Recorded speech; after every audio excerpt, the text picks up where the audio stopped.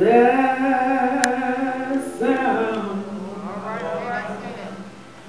That thing.